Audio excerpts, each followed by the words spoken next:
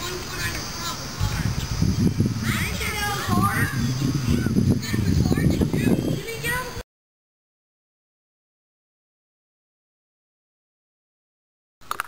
Here's some helpful tips. Be organized, do not procrastinate, take notes, and finish all of your work on time. It'll definitely help you whenever you're in gifted.